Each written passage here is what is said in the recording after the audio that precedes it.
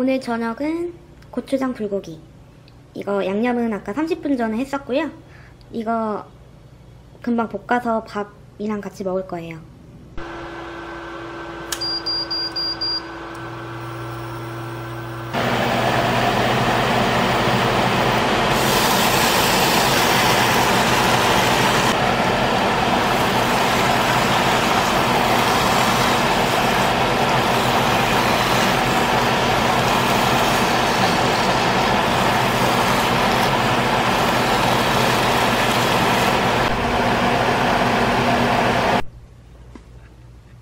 집 반찬의 완성은 깨죠.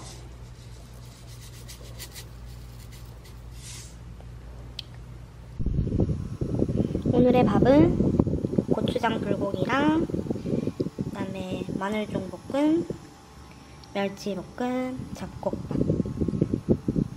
잘 먹겠습니다.